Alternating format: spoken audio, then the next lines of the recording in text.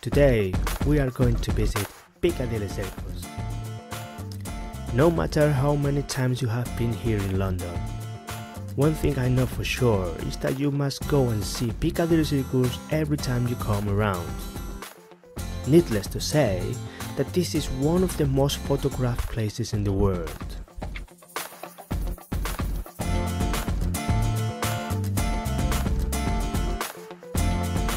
Close to Leicester Square, Piccadilly Circus was built in 1819 to connect Regent Street with Piccadilly.